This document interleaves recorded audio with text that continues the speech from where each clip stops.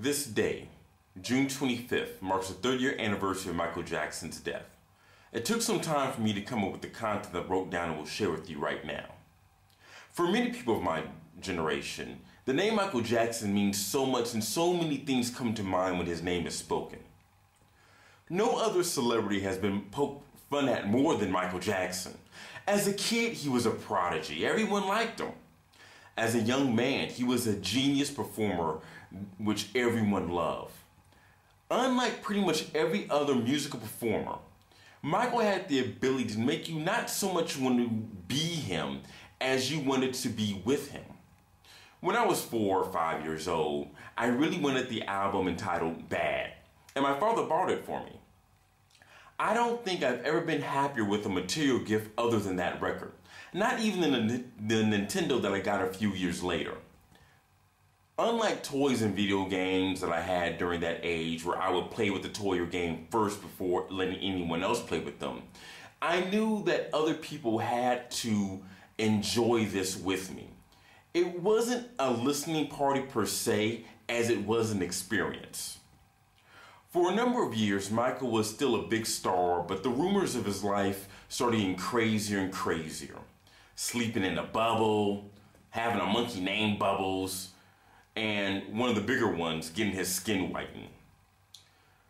Then there were the cases of having children over and doing strange things like sleeping in the same bed that led to, of course, allegations of him having sex with them. The perception of Michael Jackson completely changed in his late 30s, where it seemed like the mass media and social opinion about him shifted greatly. Parodies of his life were everywhere, from cartoons, sketch comedy programs, black comedy TV shows was probably the most harmful to Jackson looking back at it, especially due to the whole skin coloring thing. But parodies can be funny, some can be forgetful, or downright unnecessary and shoehorn in whatever program or performance that you're watching. Usually parodies are done by funny people, not comedians. There are two things I've studied outside of my academic life that's pro wrestling and comedy. Both things I've lost interest in some years ago, but I would watch and read these things pertaining to those crafts that had no involvement with the entertainment aspect of either one of them. I wanted to know what made a pro wrestling match great or what made a joke resonate with its audience. Something I noticed about true comedians, not funny people, is that real comics are people that say things that are true, but we didn't notice it until it was worded in a way that the artist said it. They have a bardic nature about themselves, as other artists, such as rappers, seem to have this quality as well. As a group, NWA was never the same after Ice Cube's rap song entitled No Vaseline. Easy E was never the same after Dr. Dre and Snoop Dogg's Dre Day. Mobb Deep was never the same after Jay Z's song The Takeover. Moe Dee was never the same after LL Cool J's Mama Said Knock You Out, and so on. Comedians make a lot of us laugh at ourselves for not having the perception that the comic gives to us. It's not about telling us something that we didn't know, as it is showing us something that we do know but have yet to come to term with. People like Dane Cook are funny guys. People like Jay Leno are funny guys. They say many things that make us giggle and laugh, but they're not comedians. They're not bards. You see, bards are people that can make a satire about you. I'm not talking about Dungeons and Dragon bards or some RPG video game character class model bard. I'm talking about those people with a single book or monologue or vlog or article can completely change people's perception about you and in some ways crush you. Now, just because you've written or said something that has bardic nature doesn't mean that everything you write and say after that has bardic power. Maybe a bard says one thing that everyone at the same time can agree on, but it has to be true. This is why network political analysts are not bards.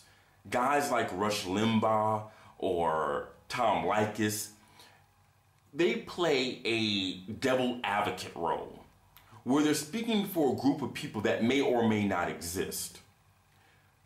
If they get more notoriety from talking about politician or pop star X as they can get from talking about politician or pop star Y, then they'll choose X, the one that generates more publicity for them. But fame and truth are rarely the same thing.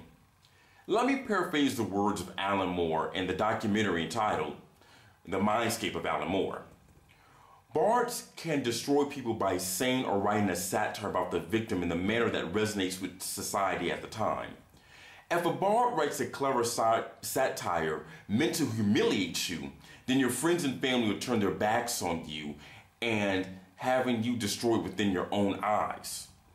If a bard writes a clever and carefully worded satire, then years later after you're dead, people will look back at you and laugh at you in your pettiness, absurdity, and wretchedness. After years and years of people making fun of Michael, after all the parodies, nothing struck more of a chord with society as much as the piece that Katt Williams performed on his HBO special, The Pimp Chronicles. Here's a clip. Fuck Michael telling niggas that done paid good money for him, telling us shit that don't make no goddamn sense. Talking about he put his nigger dick in a white woman and came out with two babies that ain't mixed. Who the fuck do you think you talking to, nigga? I'm a grown motherfucking man. You put a nigga dick in a white woman and got two blonde, blue-eyed babies? Nigga, fuck you. Fuck you. One of them babies' name is Blanket. You can't name no nigga baby Blanket. You can't name a nigga baby nothing soft, not blanket, quilt, comforter, none of that shit. After seeing this Katt Williams piece, I really would like to know how would Michael Jackson be seen by those who were born in the mid to late 90s. Right now, it's way too close to his death before anyone can make fun of the king of pop again. No one at this point in time knows how Michael Jackson will be remembered in the years to come. Will his whole body of work be accounted for? would he be looked at as like Michael Jackson Part 1, the child prodigy, and then Michael Jackson Part 2, the adult? Or even worse yet, would he be remembered as Black Michael Jackson and White Michael Jackson? Unlike other celebrities that have had parodies done about them, Jackson has the ability to alter people's consciousness with his music. That's why there were, are, and will be better performers than Michael, technically speaking but few will ever achieve the level of admiration he had, especially within his prime. I don't want to repeat myself, but I really would like to know how the King of Pop will be remembered. Will he be someone considered to be the one of, if not the greatest music performer of all time that spanned over decades? Or will he be something closer to what Katt Williams said about him? I feel that the sheer amount of information that is absorbed and available today, there will be a bit of both. Maybe the next generation would say that the media in the 90s were too hard on Michael and caused some sort of mental breakdown. Maybe they'll acknowledge it but still not care and call him a pedophile. Is there enough power in his music to offset the satire by Katt Williams and the countless parodies of Jackson's behaviors? No one will know for some time. Here's a small video of me and a good friend of mine rowing a boat in New York about nine months after Michael Jackson passed away, reflecting on the moment when we heard the news of his of his death. Take care. We burgers at Washington Square Park, whatever, just talking. Yeah. And all of a sudden, and we heard Michael Jackson had died, and all of a sudden, this gigantic chorus of people start singing "I'll Be There." Strange. It's really weird. You mean like at, at simultaneously, well, like do they, do they well, set it up? Park always has guitar people playing music. Uh huh. Because it's NYU territory, you know. Yeah. So it's a lot of idiots. uh, so they're usually like a really good jazz band or a really bad jazz band or something like that. And what happened was they were um. You okay there? I'm good. I like it. So we're talking about the death of Michael Jackson, where we were while riding a boat for the first time in our lives. Kind of, kind of, uh, very, very, riding a boat, talking about the death of Michael Jackson. It's very ironic. but anyway, so we were at, I was at, and so there was these people playing guitar, and they started playing all Michael Jackson songs. I guess they had been playing all afternoon. We didn't really notice it. But when they did I'll Be There, a gigantic chorus of people joined them. Oh my. So it was just like 30 people singing I'll Be There. Jesus Christ, man.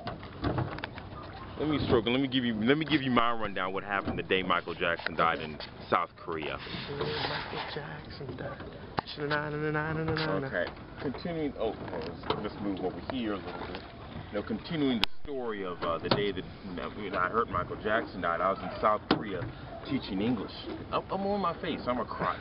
Somebody shot. No. Um, um, the thing is, is that I showed all my all my kids um, I showed them like this little highlight video of Michael Jackson. Most of the kids don't really care about it because they only know like new Michael Jackson.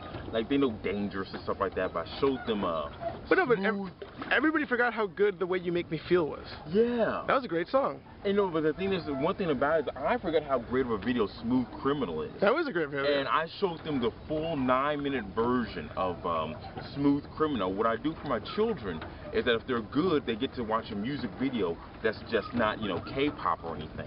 And uh, a, a, since then, they've only requested a Smooth Criminal by Michael Jackson, mainly because it's 10 minutes long. They don't have to do work. But uh, but it is it is one of the best. That's not the one where he comes out as a panther at first, is it? No, no, no. That's that's the one where he's like a, like a 1920s gangster. Yeah, yeah, yeah. Yeah, yeah. The- It has one of the best bass beats of all time. So there, that that was my story. That is a great bass beat now that I think uh, about it. Of um, well, a lot of Michael Jackson's work, like all the best work, is all the famous um bass beats. Doom, doom, doom, doom, doom, doom, doom, doom, and then doom, doom, doom, doom, Yeah. Quincy Jones was a great, great producer at the time. I know. Um, my sister had a great quote. She said, "The day Michael Jackson died, I did nothing but watch Weird Al videos." you had beat it, eat it, fat.